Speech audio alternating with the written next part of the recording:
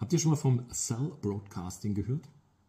Ich kannte den Begriff auch nicht, aber mittlerweile weiß ich, dass es was ganz althergebrachtes ist, nämlich das Versenden einer SMS. Und in diesem Fall äh, im Gefahrenfall, also wenn zum Beispiel ein Hochwasser droht oder ein Unwetter sich ankündigt oder ein besonders großer Unfall sich ereignet hat oder ein, ein Hausbrand, was auch immer, wir wollen es in der nächsten Woche mal testen, dieses Cell Broadcasting, nämlich am bundesweiten Warntag. Am 8. Dezember, wahrscheinlich gegen 11 Uhr, soll eine Probewarn-SMS in ganz Deutschland Smartphone-Besitzer und Besitzerinnen erreichen. Damit das auch klappt, möchte ich euch bitten, bringt eure Handys, eure Smartphones auf den neuesten Stand, ladet die aktuellen Updates runter und ich habe es bei meinem Handy auch getestet. Man muss unter Einstellungen auch zulassen, dass man Warn-SMS erhalten kann. Also macht das bitte, guckt mal unter die Einstellungen, schiebt den Regler nach drüben, dass das klappt, weil wir wollen, dass der bundesweite Warntag auch ein Erfolg wird.